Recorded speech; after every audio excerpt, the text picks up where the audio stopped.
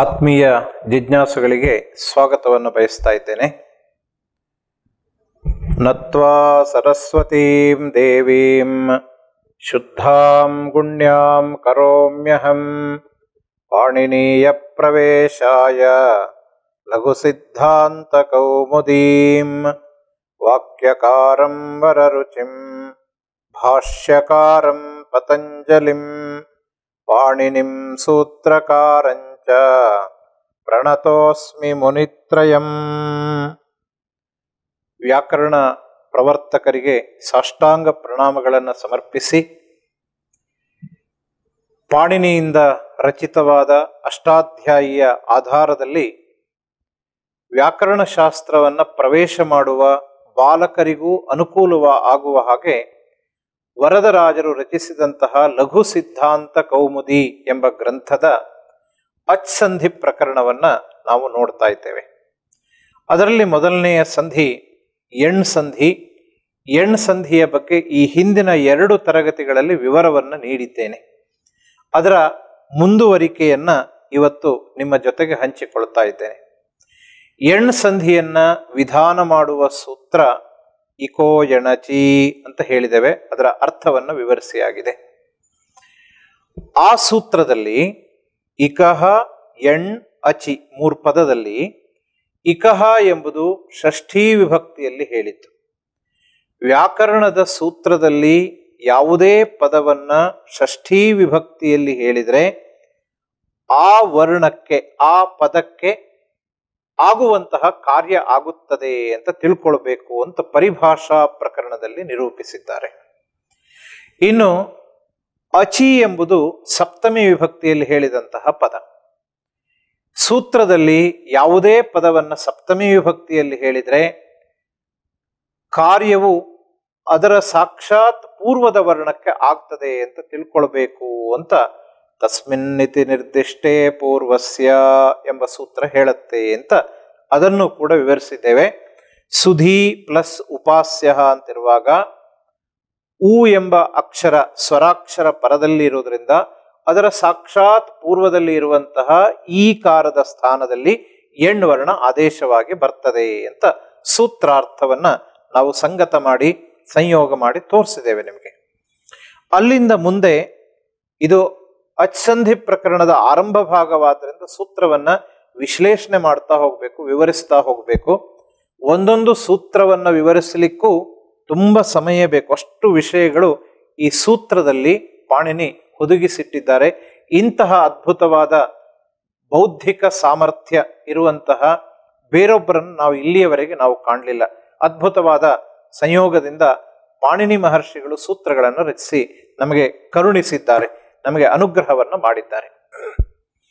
ಇವಾಗ ಸುಧಿ ಧನಚಿಹ್ನೆ ಉಪಾಸ್ಯ ಅಂತಿರುವಾಗ ಪೂರ್ವ ಪದದ ಕೊನೆಯಲ್ಲಿರುವ ಇಕಾರದ ಸ್ಥಾನದಲ್ಲಿ ಎಣ್ಣು ವರ್ಣ ಬರ್ತದೆ, ಸ್ವರಾಕ್ಷರ ಪರದಲ್ಲಿರುವಾಗ ಅಂತ ಮೊದಲನೇ ಸೂತ್ರ ಹೇಳಿದ್ದನ್ನೇ ಅನ್ವಯ ಮಾಡ್ತಾ ಮುಂದಕ್ಕೆ ಹೋಗ್ಬೇಕೀಗ. ಪೂರ್ವ ಪದದ ಕೊನೆಯಲ್ಲಿ ಈ ಕಾರ ಇದೆ. ಅದಕ್ಕೆ ಉಪಾಸ್ಯ ಎಂಬ ಉತ್ತರ ಪದದ ಆರಂಭದ ಅಕ್ಷರ ಸ್ವರಾಕ್ಷರ ಪರದಲ್ಲಿದೆ. ಎಣ್ ಆದೇಶವಾಗಿ ಬರ್ತದೆ ಅಂತ. ಯ, ವ, ರ, ಲ. ಈ ನಾಲ್ಕು ಅಕ್ಷರಗಳಿಗೆ ಎಣ್ ಅಂತ ಹೆಸರು, ಪ್ರತ್ಯಾಹಾರ ಅಂತ ಇದನ್ನು ಕರಿತೇವೆ. ಮಾಹೇಶ್ವರ ಸೂತ್ರದಲ್ಲಿ ಯವರಟ ಲಣ್ ಅಂತ ಇದೆ ನೋಡಿ. ಯವರ ಟ ಬಿಡಿ ಲ, ಯವರ ಲ, ಇಷ್ಟು ಆಗತ್ತೆ. ಯಾಕೆ ಟ ಬಿಡಿ ಅಂದ್ರೆ ಟ ಎನ್ನುವುದು ಹಲಂತ್ಯಂ ಸೂತ್ರದ ಪ್ರಕಾರ ಅದು ಇತ್ತಾಗಿದೆ ಇತ್ತಂದ್ರೆ ಲೋಪ ಆಗಿದೆ ಅಂತ ಲೆಕ್ಕ, ಅದು ಲೆಕ್ಕಕ್ಕಿಲ್ಲ ಅದು. ಅದರಿಂದ ಯಾವ ರ ಲಗಳು ಅಂತ ಆಯ್ತು. ಈಗ ನಮ್ಮ ಪ್ರಶ್ನೆ ಪೂರ್ವ ಪದದ ಕೊನೆಯಲ್ಲಿರುವಂತಹ ಇಕಾರಕ್ಕೆ ಹಿಂದಿನ ಸ್ಲೈಡ್ ಅನ್ನ ನಾವು ನೋಡಿದರೆ ಪೂರ್ವ ಪದದ ಕೊನೆಯಲ್ಲಿರುವಂತಹ ಈ ಕಾರಕ್ಕೆ ಎಣ್ಣು ವರ್ಣದಲ್ಲಿ ಯಾವ ರಾಲಗಳ ಬರ್ತದೆ ಅಂತ ಹೇಳಿದ್ವಿ. ಆದರೆ ಈ ಕಾರ ಒಂದೇ ಇರೋದ್ರಿಂದ ಆ ಈ ಕಾರದ ಸ್ಥಾನದಲ್ಲಿ ಯಾವ ರಾಲ ಈ ನಾಲ್ಕರಲ್ಲಿ ಯಾವುದಾದ್ರೂ ಒಂದು ಮಾತ್ರ ಬರಲಿಕ್ಕೆ ಅಲ್ಲಿ ಅವಕಾಶ ಉಂಟು. ನಾಲ್ಕು ವರ್ಣಗಳು ಬರಲಿಕ್ಕೆ ಆಗೋದಿಲ್ಲ. ಅದಕ್ಕೋಸ್ಕರ ಯಾವ ವರ್ಣ ಬರ್ತದೆ ಎನ್ನುವುದನ್ನು ಹೇಗೆ ತೀರ್ಮಾನ ಮಾಡಬೇಕು? ಈಕಾರದ ಸ್ಥಾನದಲ್ಲಿ ಯ ಹೇಳ್ತದೆ ನಾನು ಹೋಗ್ತೇನೆ ಅಂತ, ವ ಹೇಳುತ್ತೆ ನಾನು ಹೋಗ್ತೇನೆ ಅಂತ, ರ ಹೇಳ್ತದೆ ನಾನು ಹೋಗ್ತೇನೆ ಅಂತ, ಲ ಹೇಳ್ತದೆ ನಾನು ಹೋಗ್ತೇನೆ ಅಂತ ಹೇಳುತ್ತೆ. ಉದಾಹರಣೆಗೆ ನಮ್ಮ ಹತ್ತಿರದ ಸಂಬಂಧಿಗಳ ಮನೆಯಲ್ಲಿ ಒಂದು ಕಾರ್ಯಕ್ರಮ ಇದೆ. ಅವತ್ತಿನ ಕಾರ್ಯಕ್ರಮಕ್ಕೆ ನಮ್ಮ ಮನೆಯಿಂದ ಯಾರಾದರೂ ಒಬ್ರು ಹೋಗ್ಬೇಕು. ನಾಲ್ಕು ಜನ ಇದ್ದೇವೆ ನಾವು ಮನೆಯಲ್ಲಿ. ಒಬ್ಬರಿಗೆ ಹೋಗ್ಲಿಕ್ಕೆ ಅವಕಾಶ ಉಂಟು ಅಲ್ಲಿ ಅಂತ ಇಟ್ಕೊಳ್ಳಿ. ಯಾರು ಹೋಗುದು ಆ ಮನೆಗೆ? ಈ ನಾಲ್ಕು ಜನರಲ್ಲಿ ನಾಲ್ಕಕ್ಕೆ ನಾಲ್ಕು ಜನರು ಹೋಗ್ಲಿಕ್ಕೆ ಆಗುದಿಲ್ಲ. ಒಬ್ರು ಮಾತ್ರ ಬರಬೇಕು ಅಂತ ಹೇಳಿದ್ದಾರೆ. ಲಾಕ್ಡೌನ್ ಇರೋದ್ರಿಂದ ಮದುವೆ, ಉಪನಯನ ಸಮಾರಂಭಗಳಿಗೆ ಹತ್ತೇ ಜನ ಇರಬೇಕು. ಅದಕ್ಕಿಂತ ಹೆಚ್ಚು ಮೀರಬಾರದು ಅಂತ ನಿಯಮ ಇದೆ ಅಂತ ಇಟ್ಕೊಳ್ಳಿ.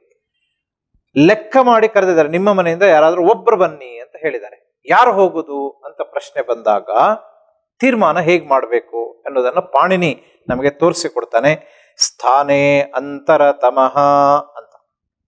ಎರಡು ಪದ ಇದೆ ಇದರಲ್ಲಿ. ಇದು ಒಂದನೇ ಅಧ್ಯಾಯದ ಒಂದನೇ ಪದ ಐವತ್ತನೆಯ ಸೂತ್ರ ಇದು. ಸ್ಥಾನೇ ಅಂತರ ತಮಃ ಅಂತ.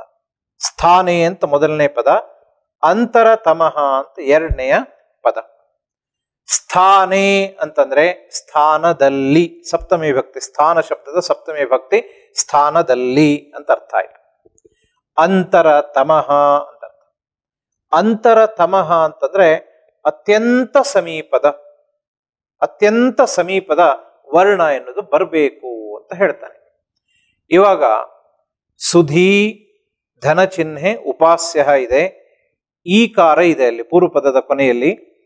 ಈಕಾರದ ಸ್ಥಾನದಲ್ಲಿ ಯಾವ ರ ಲಗಳಲ್ಲಿ ಯಾವುದು ಬರಬೇಕು ಅಂತಂದ್ರೆ ಅತ್ಯಂತ ಅಂತರತಮವಾದ ವರ್ಣ, ಅತ್ಯಂತ ಕ್ಲೋಸ್ ಆದ ವರ್ಣ ಎನ್ನುವುದು ಅಲ್ಲಿಗೆ ಬರಬೇಕು ಅಂತ ನಿಯಮವನ್ನು ಮಾಡ್ತಾನೆ ಎಲ್ಲಾ ಕಡೆಗಳಲ್ಲಿ ಇದ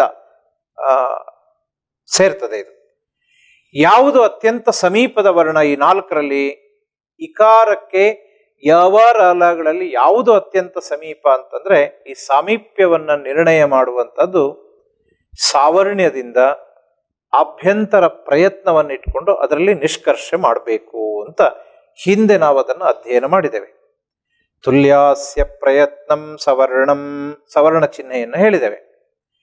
ಯಾವ ಎರಡು ವರ್ಣಗಳ ಉತ್ಪತ್ತಿ ಸ್ಥಾನ ಎನ್ನುವುದು, ಬಾಯಲ್ಲಿ ಆ ವರ್ಣ ಹುಟ್ಟುವ ಸ್ಥಾನ ಎನ್ನುವುದು ಒಂದೇ ಆಗಿರ್ತದೆಯೋ? ಯಾವ ಎರಡು ವರ್ಣಗಳ ಪ್ರಯತ್ನ ಎನ್ನುವುದು ಆಭ್ಯಂತರ ಪ್ರಯತ್ನ ಆಂತರಂಗಿಕ ಪ್ರಯತ್ನ ಎನ್ನುವುದು ಸ್ಪೃಷ್ಟ ಈಶತ್ ಸ್ಪೃಷ್ಟ ಈಶದ್ ವಿವೃತ ವಿವೃತ ಸಮೃತ ಅಂತ ಐದು ಪ್ರಯತ್ನಗಳನ್ನು ಹೇಳಿದ್ದೇವೆ. ಈ ಪ್ರಯತ್ನವು ಒಂದೇ ಆಗಿರ್ತದೆಯೋ, ಅದು ಆ ಎರಡು ವರ್ಣಗಳು ಪರಸ್ಪರ ಸಾದೃಶ್ಯವುಳ್ಳ ವರ್ಣಗಳು, ಅಂತರತಮ ವರ್ಣಗಳು ಅಂತ ತೀರ್ಮಾನವನ್ನು ಮಾಡಿದ್ದಾರೆ. ಇವಾಗ ಇದೇ ಅರ್ಥವನ್ನಿಟ್ಕೊಂಡು ನಾವು ಹುಡುಕ್ತಾ ಹೋದರೆ, ಇಕಾರದ ಸ್ಥಾನದಲ್ಲಿ ಯಾವ ರಲಗಳಲ್ಲಿ ಯಾವುದು ಬರಬೇಕು ಅಂತ ಮೊದಲು ವರ್ಣೋತ್ಪತ್ತಿಯ ನಿರ್ಣಯವನ್ನು ಮಾಡೋಣ. ಇಚು ಯಶಾನಾಂ ತಾಲು ಅಂತ ಸಾವರ್ಣ ಸಂಜ್ಞೆಯನ್ನು ಹೇಳುವಾಗ ನಾವು ಹೇಳಿದ್ದೇವೆ. ಇಕಾರ, ಚ, ಛ, ಜ, ಝ, ಞ, ಯಕಾರ, ಶಕಾರ. ಈ ನಾಲ್ಕು ತಾಲು ಎಂಬ ಸ್ಥಳದಲ್ಲಿ ಹುಟ್ಟುತ್ತವೆ, ಜನಿಸುತ್ತವೆ ಅಂತ ಹೇಳಿದ್ದೇವೆ. ಆದ್ರಿಂದ ಇಕಾರ ಮತ್ತೆ ಯಕಾರದ ಉತ್ಪತ್ತಿ ಸ್ಥಾನ ಎನ್ನುವುದು ಒಂದೇ ಅಂತಾಯ್ತು. ಆದ್ರಿಂದ ಯಾವ ರಾಲಗಳಲ್ಲಿ ಇಕಾರಕ್ಕೆ ಅತ್ಯಂತ ಸಮೀಪವಾದ ವರ್ಣ ಎನ್ನುವುದು ಯ. ಅದರಿಂದ ಈ ಕಾರದ ಸ್ಥಾನದಲ್ಲಿ ಯ ಕಾರ ಎಂಬುದು ಆದೇಶವಾಗಿ ಬಂದ್ರೆ ವೃತ್ತಿ ಅದನ್ನೇ ಹೇಳುತ್ತೆ. ಪ್ರಸಂಗೇ ಸತಿ. ಸಂದರ್ಭ ಬಂದಾಗ, ಪ್ರಸಂಗ ಬಂದಾಗ ಸದೃಶ ತಮಃ ವರ್ಣ.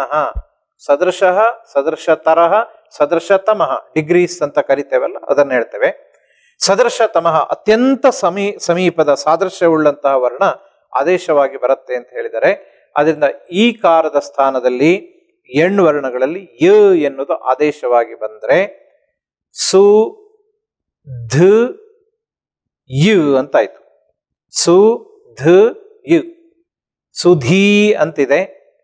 ಧ, ಅದರಿಂದ ಈ ಕಾರವನ್ನು ಪ್ರತ್ಯೇಕ ಮಾಡಿದರೆ, ಸು,